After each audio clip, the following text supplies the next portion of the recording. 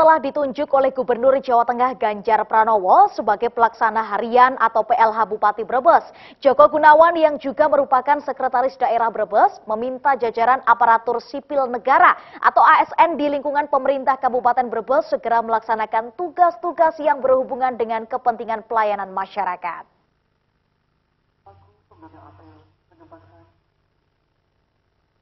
Hal itu disampaikan secara langsung oleh Joko Gunawan seusai menggelar apel hari pertama kerja sekaligus melakukan sidak di kantor pemerintahan terpadu atau KPT yang berada di kawasan Kelurahan Pasar Batang Brebes Senin pagi.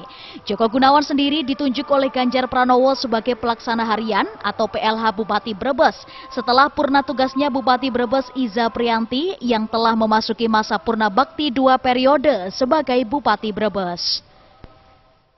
Joko Gunawan menuturkan dirinya juga akan segera bergerak terkait tugas-tugas pelayanan masyarakat, juga akses mengecek mal pelayanan masyarakat untuk memastikan pelayanan masyarakat tetap berjalan secara normal.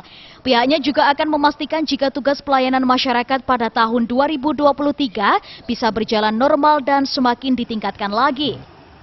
Pada hari ini kami sesuai dengan kami yang tadi sampaikan pada saat apel, saya diberikan amanat tambahan samping tugas keseharian sebagai sekretaris daerah, tugas pokok sebagai sekretaris daerah, juga diberikan amanah tambahan sebagai pelaksana harian Bupati Kabupaten Brebes.